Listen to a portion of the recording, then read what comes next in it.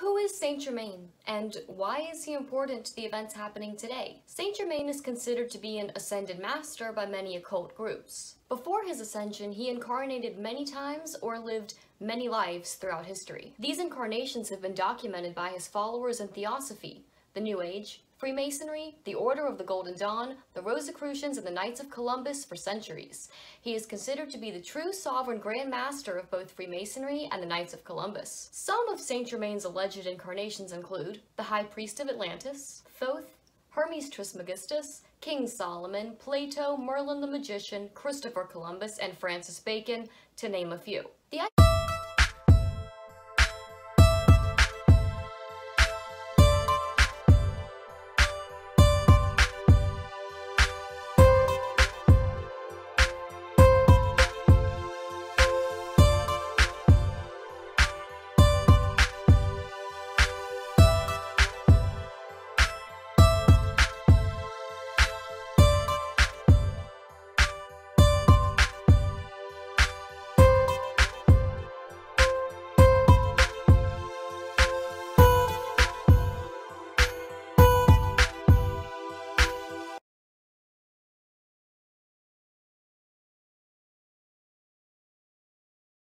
something that, by their own admission, Theosophy and Freemasonry are making a concerted effort to bring the world under the control of the Ascended Masters. And they are, by their own admission, disseminating Ascended Master doctrine throughout the church. And after we talk about uh, some of these things, you're going to spot it. And in uh, the future, you're going to be able to be discerning and recognize these ascended master doctrines. The idea of random incarnations or reincarnations cannot explain why he was so many influential characters. A better explanation for his many lives is that he is a powerful entity, most likely Gadrael.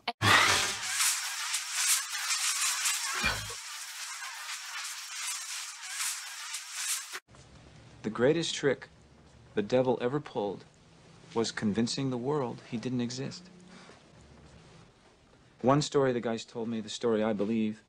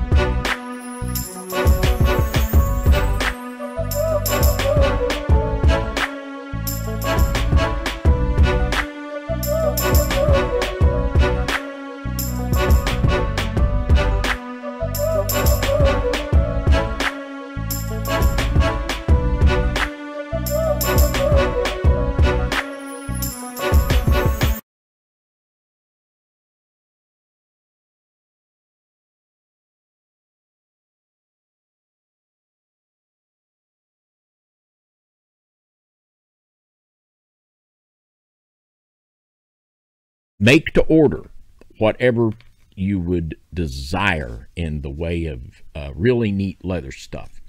So, with that taken care of, let's get into our broadcast. And John has a slide presentation prepared tonight. And this is an exciting topic, and it's such a pertinent topic. It is really recognizing the deliberate plan of the enemy to bring the world under the control of fallen angels, and they're uh, it's a full blown assault. So, John, take us on the midnight ride, Wizards of Old and the Great White Brotherhood. All right, and uh, one thing I do want to mention is stay tuned because at the end of the show we will be um, announcing the winners of the contest that we had. Uh, we did a show a couple weeks ago, and the prizes are pretty awesome. There's first, second, and third place. And so we'll be announcing that later on, and uh, just stay tuned. Um, so basically, I want to preface this that what we're going to be talking about tonight because I want people to understand why we're talking about it because um, you know David talked a little bit about it, but this is something that is very, very, very prevalent in Christianity, uh, in every sect of Christianity. I guess let's put it that way. Every denomination. Um, what we're talking about here is so subtle and so smooth and so crafty that it's very hard to tell the difference between somebody that believes in this and somebody that believes in Christianity or any form of Christianity because they do believe in a, in Jesus, they do believe in that, but they have a different version of the gospel and a different idea behind it. And this is important to learn because I, as I did a lot of this research, I actually went online on my Facebook and I hashtagged different things and I looked and I could see that a lot of my friends are actually involved in this. And a lot of people that I know are actually involved in this stuff uh, very subtly. And so, anyways, we're going to start this out. So, this show talks about the Wizards of Old and the Great White Brotherhood. So, the Great White Brotherhood. Uh, is it's a belief system akin to theosophy, and it's actually theosophists are one of the ones that helped develop it, and and to the New Age teachings as well. And they all share a similar root. Uh, there's a westernized version of this whole thing as well, and they all kind of vary a little bit, not much, but the adepts and the mysteries and theosophists uh, will understand the references that we're going to make, and uh, the differences are they're so subtle that basically they're not almost non-existent. So I mean, it doesn't really matter these subtle differences. The whole idea and the scheme of everything is exactly the same, and we'll talk about a little of the differences later on as we go through this. So. Um, the members of this um, this brotherhood, this this so-called brotherhood, and this um, Great White Brotherhood are they're called the Masters of Ancient Wisdom, and they're also known as the Ascended Masters. And if you guys remember, uh, I don't, a few weeks ago we did the seven root race teachings, which also come from this idea, and uh, the Masters of Ancient Wisdom.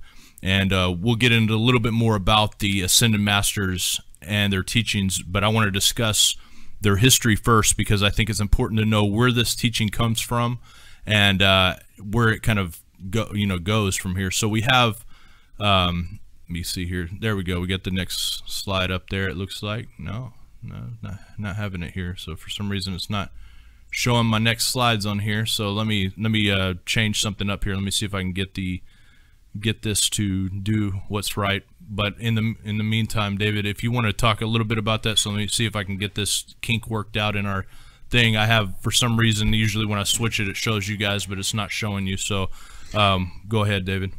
Well, one of the tremendous and terribly sad things is that people are being duped into believing, as the Apostle Paul said, another Christ and another Spirit. And I'm going to read one paragraph here from a book entitled Masonry in the New Age, and it's written by a man by the name of Lynn Perkins. He's a Freemason and an Ascended Master teaching. As there are many, many, and most of your really adept teachings on the Ascended Masters have come from Freemasonry and Theosophy almost exclusively. And it really originated in Theosophy. The term was coined toward the latter part of the 19th century in the late 1800s.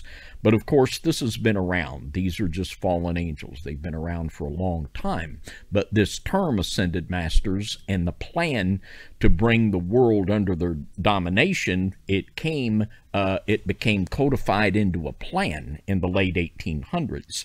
And in Theosophy, we saw Madame Blavatsky, and after her, Annie Besant and C.W. Leadbeater, and following them, Allison Foster Bailey and Manly P. Hall, Freemasonry's greatest philosopher. These are the main.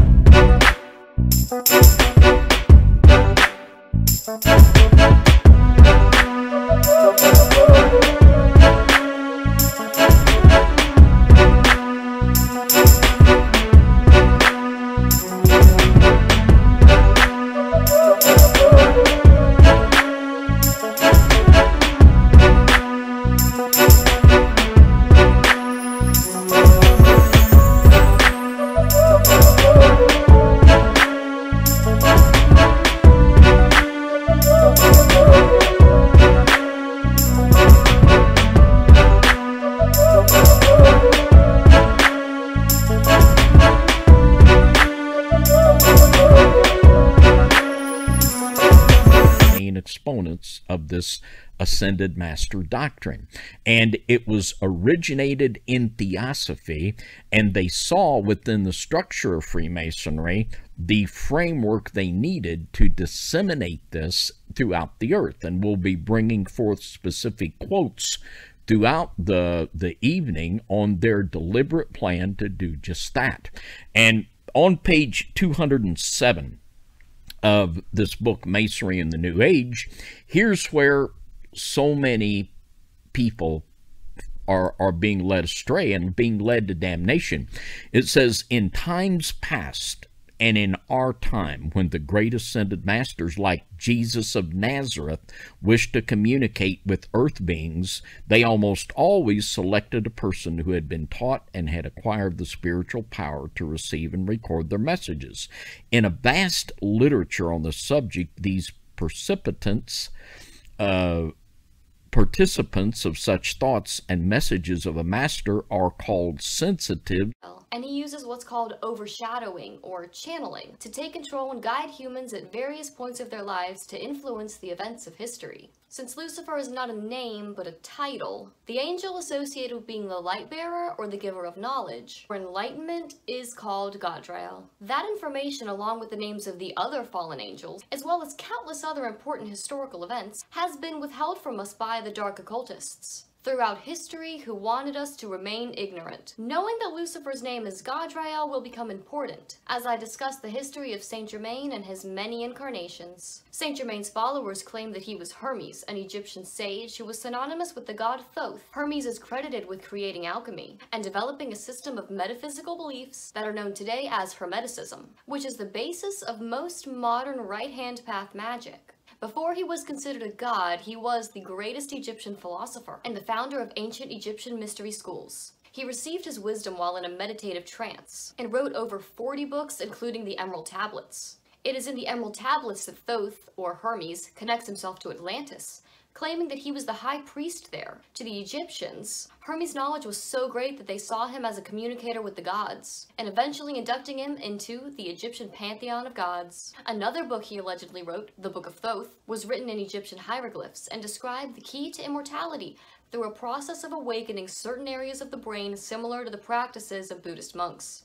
Alchemy, taught by Thoth, is an ancient path of spiritual purification and transformation, the expansion of consciousness, and the development of insight and intuition through images and symbols. During medieval and Renaissance times, alchemy spread through the Western world and was further developed by Kabbalists, Rosicrucians, and astrologers, and other occultists. It functioned on two levels, mundane and spiritual. On a mundane level, alchemists sought to find a process to convert base metals such as lead into gold. On a spiritual level, alchemists worked to purify themselves by eliminating the base material of the self and achieving gold of enlightenment. Hermeticism teaches that energetic evolution, or transmuting the body into a light body, is the true meaning and purpose of life. In my opinion, this is like saying that you save yourself through your own works. Now I'm going to try to show you that the New Age movement fulfills a need in a world that has rejected Jesus, but seeks to fill the spiritual void left behind. And before you turn this off, let me just say that if you were a victim of religious abuse through the church or your family, then I'm sorry. These organizations and beliefs are usually contradictory with the actual living word of God. If you reject God based on the actions of men, that's like saying that you'll never eat vegetables again because you hate vegans. Instead of being angry at God, become angry at the people who twisted and abused the truth for their own need for control, or used it as a form of punishment. I'm going to be addressing this exact issue in a future video. If you are in the New Age or in the occult, please continue watching this video because I made it to try and give you a different perspective and a different way to think about this whole thing. So back to Hermeticism. The Hermetic Order of the Golden Dawn is a system of magic practiced by adepts and interestingly, it is also an organization within the Illuminati. Through traditional initiation and spiritual practices of Hermetic astrology, magic, and alchemy, promises to give you the concrete tools to achieve the solar ascension. Many people today believe that there will be a solar flash and the ones who have chosen to ascend will become light bodies at that time. If you watch my other videos, The Prophetic Protocols of Q, you'll know that Q is following the protocols of the Illuminated Sons of the Golden Dawn, which correlate to Saint Germain's plan for humanity. Most secret societies' beliefs and rituals can be traced back to the Egyptian mystery schools or to Babylon. The most, the most powerful of these mystery schools was known as the Royal School of the Master Craftsman at Karnak, or as the Great White Brotherhood. It's called the White Brotherhood because of the white robes that they wore and also the type of magic they practiced, as well as the white powder they made known to the Mesopotamians as shamana, the high ward firestone, the elixir of life, philosopher's stone, or white bread to the Egyptians. After his time as Hermes, it's claimed that Saint Germain was King Solomon, the son of King David of Israel. King Solomon was the author of the Goetia, or Goetia, and the Keys of Solomon.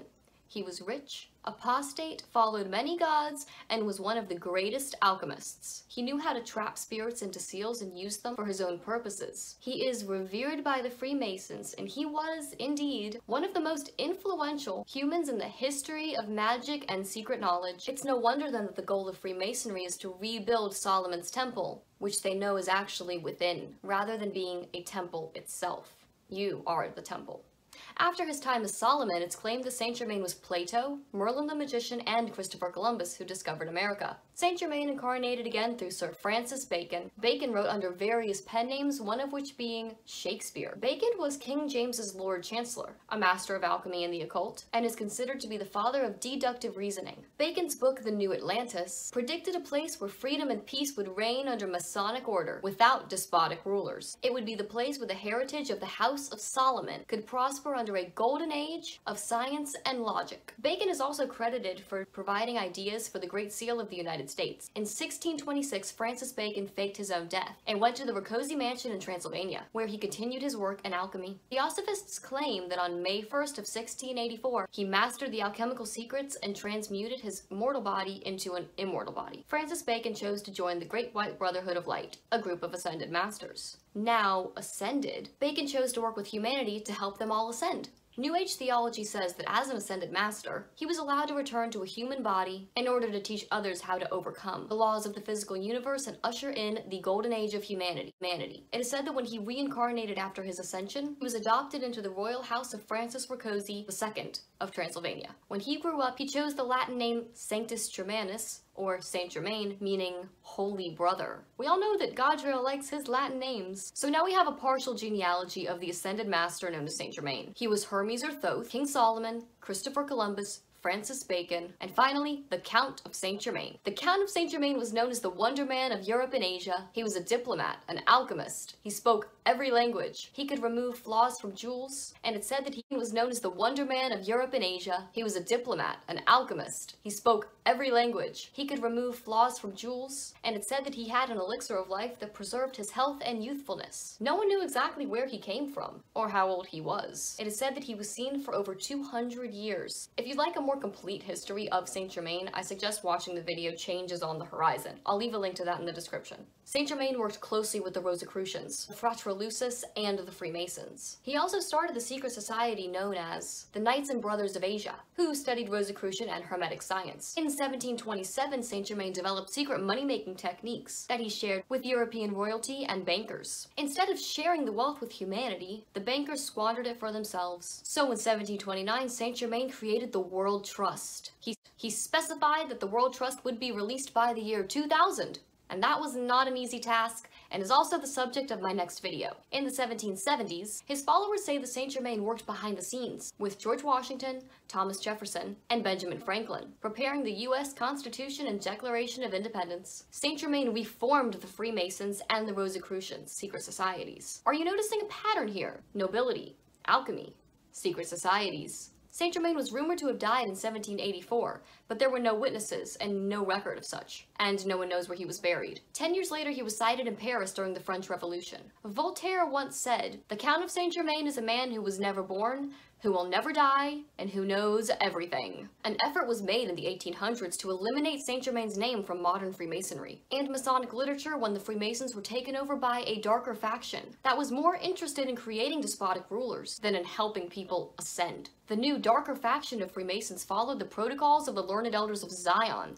which are the complete opposite of the teachings of Saint Germain. Despite their attempts to erase Saint Germain's name from all of their lodges, the letter G still features prominently in Freemasonry's most recognizable symbol, the square and compass. Masons give several answers when asked what the G stands for. God, the great architect of the universe, the generative principle. Wouldn't it be interesting if the G stood for Germain or ultimately Gadrael? Because the name Gadrael literally means builder of God or mason of God, to me, the G could very well stand for the hidden name of God, their God. Gadrael. Spe speaking of Freemasonry, the Jewish year 5776 started on Yom Teruah, which was September 13th of 2015. Now this is a very important year for Freemasonry, which has its own calendars. And to Masons, 5776 is known as Anno Lucis, or the Year of Light. This was indeed the year that Saint Germain regained control over the Freemasons, and began to wage a war on the Cabal, that darker faction that took over for so many years. Now in the Bible, the Cabal can be found in Revelation 13,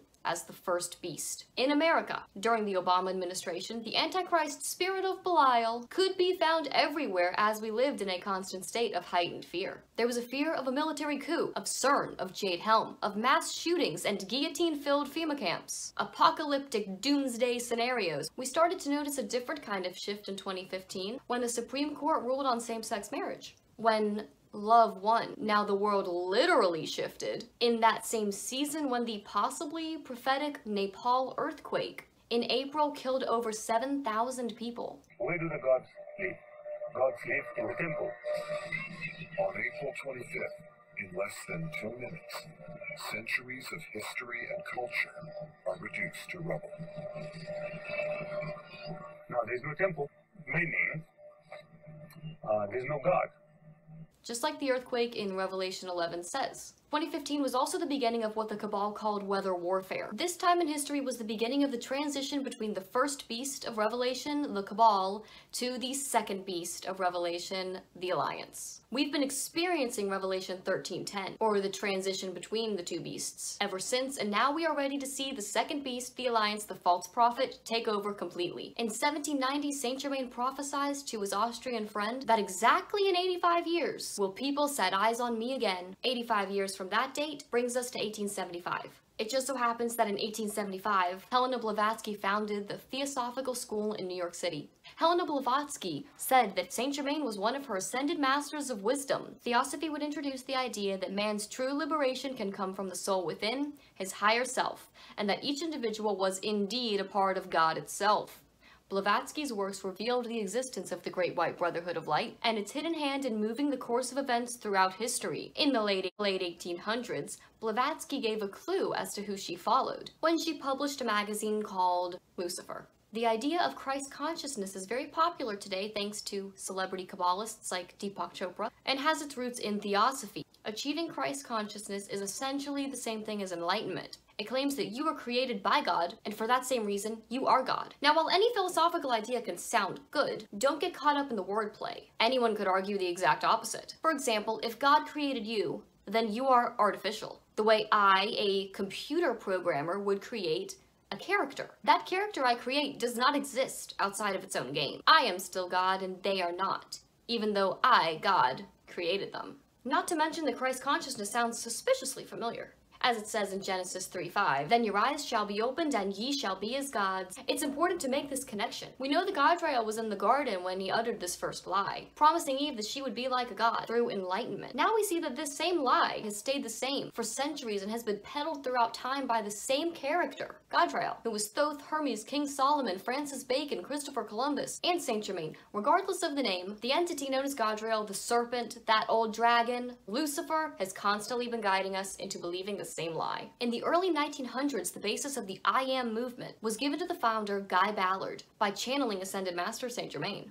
He taught Guy about the great creative word, or I Am, The I Am presence is said to be in each person and represents a point of contact with divine reality. The I Am movement was also instructed to preserve the idea of America, a revolutionary experiment in freedom, also known as the Great Masonic Experiment. In the 1950s, Saint Germain again used another messenger, Geraldine Innocente, to form the Bridge to Freedom movement. Through this movement, Saint Germain revealed more about the structure of the Great Brotherhood of Light, its continued governance of world affairs, and presented its future plans to bring in the new era. In 1958, Saint Germain used another messenger. Mark Prophet informed the Summit Lighthouse movement, together with his wife Elizabeth Clare Prophet. They formed the Church Universal and Triumphant, a church dedicated to Saint Germain, Theosophy, and the I Am Presence. Elizabeth Clare Prophet describes the Ascended Master Saint Germain as the violet flame, the Chohan of the seventh ray, and the sponsor of the United States. This is why America is so important at this time in history. Remember, Saint Germain was overshadowing Christopher Columbus, who was credited with discovering America. In reality, he didn't discover anything. He destroyed a nation and its people. From Hermes onward, it is said that Saint Germain tried to liberate humanity from the tyrannical rulers and raise human thinking and logic. His followers say that the whole earth is subject to his will, as he now takes takes his place as the teacher for the new Aquarian age. This quote, quote from Elizabeth Clare Prophet explains exactly what's happening today, with the emergence of Q and Trump eliminating the deep state. She says, At the helm of this momentous purging of Earth's dark forces is the great and holy master Sanctus Germanus, again appearing at this particular flashpoint as he did in the past history to guide and protect us at the threshold of the new age. Trump's sole mission is indeed the same as the one attributed to Saint Germain, to get rid of the dark cabal, or drain the swamp. So in conclusion, this New Age movement, based on ancient secret knowledge, is just a religion for people who are not religious. Not only has most of the world embraced the New Age, the world has also fallen for the deception of the new worldwide religion love. This new mindset instructs humanity to love everyone because we are all one and to send love and light. This translates to avoidance of personal responsibility and avoidance of accountability of actions. When everything is permissible, what is the point in modifying your behavior? Unconditional love corrects, instructs, and condemns that which is not true or safe. Truth is love, and sometimes love hurts. I know some know some people are not going to like what I have to say because it makes people uncomfortable, but I'm trying to present you with information you can arm yourself with, to speak the truth to people around you in your own life. The hidden knowledge within the occult is very ego-driven, and that it somehow has more value because it is hidden and takes a bit of work to find, when it's really just a watered-down or twisted version of truth but because it is hidden, there is a certain value placed on its information. After all, value is created in scarcity. But that's the thing. As history will show, the information found in the ancient world that's been rebranded into the New Age is not scarce. It's saturated our entire world for centuries. What is extremely scarce is the truth. Some say that God did not want mankind to be wise like him. Yet, a major source of their power on earth is by doing just that, withholding knowledge from mankind whether it be through education, initiation, or through positions of power. The uninitiated are somehow less than and unworthy of information. It isn't until the initiate can control his lower self, or base instincts, that he is worthy of learning philosophical principles. Again, this is contrary to everything God and Jesus did. His information was open to all people in all places.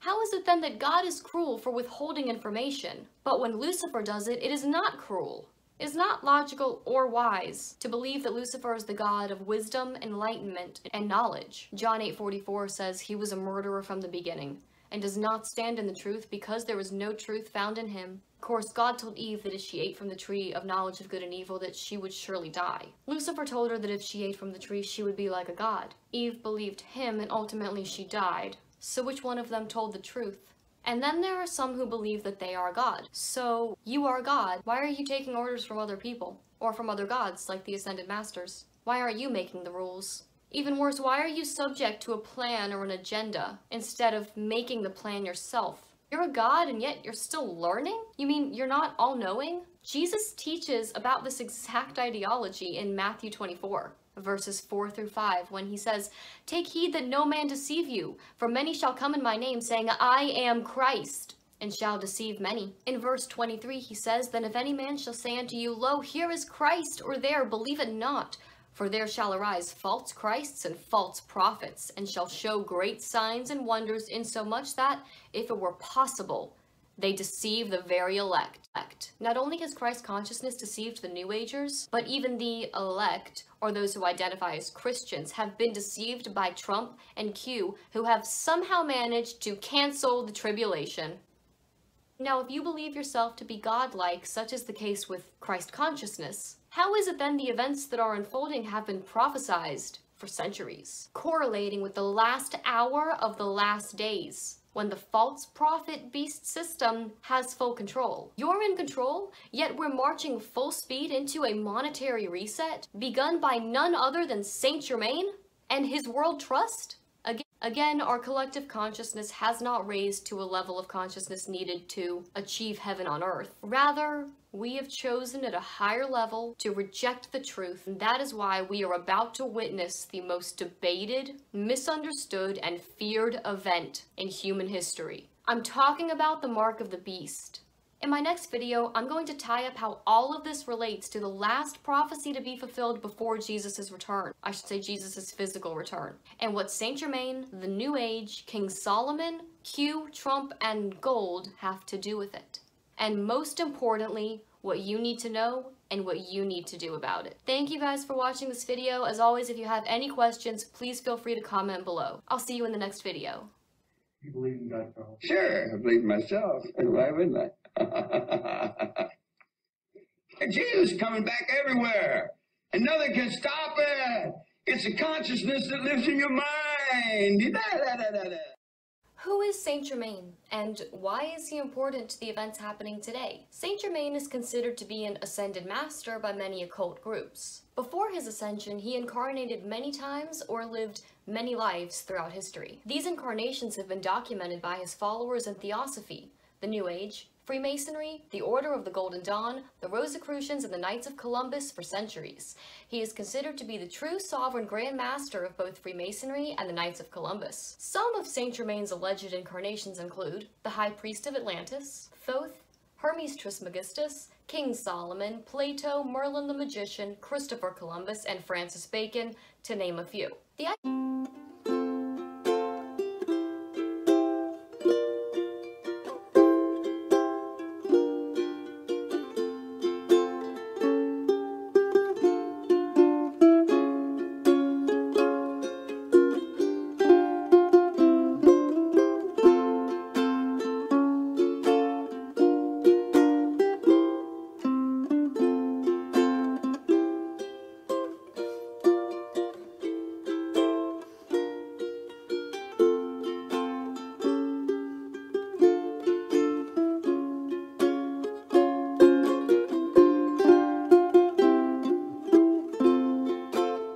It's another wonderful day in California. I hope everyone is safe, healthy, and ready for another episode. In the English language, there are two supreme masterpieces of literature that seem to stick out above all others, that were both published in the city of London within 12 years of each other. The first is the King James Version of the Bible, which was published in 1611, and secondly, the collected works of William Shakespeare, which was published in 1623. The King James Bible was put together by six groups, comprised of some 54 translators, of which we know very little about. Not one of the translators has left any literary work which would justify the belief that they were capable of writing the more beautiful portions of the Bible. The revised translation of the Bible was undertaken as a national work, carried out under the personal supervision of the king, but every record of the proceedings has disappeared. The British Museum does not contain any manuscript connected with the proceedings of the translators. As for the Shakespeare works, the reputed author, William Shakespeare, not only had illiterate parents, illiterate children, and no formal education, but judging by the illegible and incomplete six signatures he left behind, he was more than likely illiterate himself. Not a single letter or poem has ever been found in Shakespeare's own handwriting, a man credited with writing 36 plays and over 150 sonnets. He is considered a literary genius, allegedly producing so much, yet couldn't find the time to teach his own two daughters to read or write? Most of his writings concern the lives of the aristocracy, of which he himself was not a part of. So, how was he so familiar with their ways? That said, many people who are familiar with the material agree that the likely author of the Shakespeare works is Francis Bacon. The speculation regarding this goes all the way back to 1598, the year Shakespeare's name first appeared on one of his plays, when more than one of his contemporaries published about recognizing Francis Bacon as being the actual author. Francis Bacon was an English philosopher and statesman who served as Attorney General and Lord Chancellor of England. His works are credited with developing the scientific method based on inductive reasoning and observing nature. Bacon died at the age of 65 of pneumonia and had no heirs. As for the King James Bible, a book published in 1905 by William Smedley puts forth the theory that Bacon rewrote the translator's manuscripts to produce the literary masterpiece that is the King James authorized version of the Bible. Smedley exhibits remarkable insight into Bacon's motives and provides evidence to support his contention that Bacon edited the final draft of the translations, concluding that, quote, there was only one writer of the period who was capable of turning the phrases with that matchless style which is the great charm of the Shakespeare plays. Whoever that stylist was, it was to him that James handed over the manuscripts, which he received from the translators. That man made havoc of much of the translation, but he produced a result which, on its literary merits, is without equal. Please keep in mind that Francis Bacon was a 33rd degree Freemason, and it is said that his agenda revolved around encoding the text with gematria, which is an alphanumeric code of assigning a numerical value to a name, word, or phrase based on its letters. One should also note that the word Lucifer was added in this edition, where in Isaiah it says, How art thou fallen from heaven, O Lucifer, son of the morning? While this line stirs up a lot of controversy, we can get a better understanding of its context from another high level Mason, Eliphas Levi, author of The Mysteries of Magic, who says, quote, What is more absurd and more impious than to attribute the name of Lucifer to the devil, that is, to personified evil? The intellectual Lucifer is a spirit of intelligence and love. It is the Paraclete. It is the Holy Spirit, while the physical Lucifer is the great agent of universal magnetism. In her book, The Secret Doctrine, Helena Petrovna Blavatsky says, quote, Lucifer represents life, thought, progress, civilization, liberty, independence. Lucifer is the Logos, the serpent, the Savior. Another 33rd degree Mason, Albert Pike, is quoted as saying, Lucifer is divine and terrestrial light, the Holy Ghost, and Satan at one and the same time. In this context, the light bearer is not a person with a pointy tail in a fiery pit, but a force of nature which has potential for what, from our perspective, could be defined as good or evil, rather than a devil with a pitchfork made popular in contemporary movies and cartoons. I covered the Holy Ghost in a video last week. I'll include a link in the description if you'd like to see it. In his book, Morals and Dogma, Albert Pike once again says, quote, Lucifer, the light bearer, strange and mysterious name to give to the spirit of darkness. Lucifer, the son of the morning, is it he who bears the light, and with its splendors intolerable blinds the feeble, sensual, or selfish souls? Doubt it not.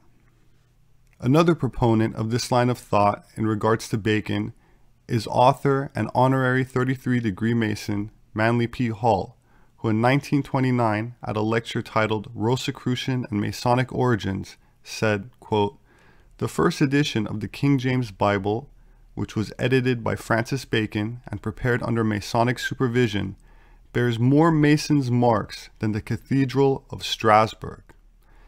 And that's coming from Manly Hall, who literally wrote the book on Masonic symbolism. Dr. H. Spencer Lewis, imperator of the Rosicrucian order during the 1920s and 30s, said in the April 1930 edition of Rosicrucian Digest, quote, the Bible, which all of us read and admire from a literary point of view because of its peculiar and beautiful English, was written in that form by Bacon, who invented and perfected that style of English expression. The first editions of the Bible were printed under the same guidance and in the same manner as were the Shakespeare plays, and the ornaments for the various pages were drawn in pen and ink and on wood by artists engaged by Bacon who worked under his supervision. Every one of the ornaments concealed some Rosicrucian emblem, and occasionally a Masonic emblem, or some initials that would reveal Bacon's name, or the name of the Rosicrucians. Some ornaments were put not only in the Christian Bible that Bacon had rewritten, but in the Shakespeare plays, and in some of Bacon's own books, and a few other books that were typically Rosicrucian in spirit. Edwin D. Lawrence, author of Bacon is Shakespeare and the Shakespeare Myth, said in a lecture in 1912 that, quote, the 1611 King James Bible is ornamented with Bacon's symbols, and in my own special copy of the record edition, also dated 1611, these symbols are Rosicrucianly marked to call the attention of the initiated to them and to tell them that the 1611 Bible is without possibility of doubt one of Bacon's books. When Bacon was born, English as a literary language did not exist, but once he died, he had succeeded in making the English language the noblest vehicle of thought ever possessed by mankind. This he accomplished merely by his Bible and his Shakespeare. Now, I know this is a controversial topic for many people, and I'll leave it to the viewer to make up their own mind as to what books or sources they derive their spiritual guidance from.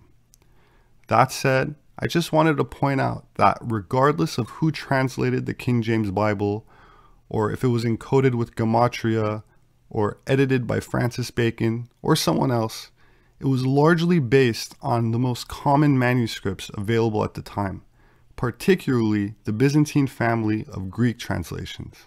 So while many people consider the Bible, particularly the King James Version, as the direct inspired word of God, I just want to point out that it was based on a small percentage of material from a much larger selection of material, much of which has come to light after the book was compiled and published. One example being the Nag Hammadi Library, a collection of 13 ancient books containing over 50 texts discovered in Upper Egypt in 1945 and thought to have been entirely destroyed during the early Christian era. Its translation was not only completed in the 1970s, and not only contains much of the same material, but expanded versions of it, and other scriptures, such as the Gospel of Thomas, which I will cover in a future video.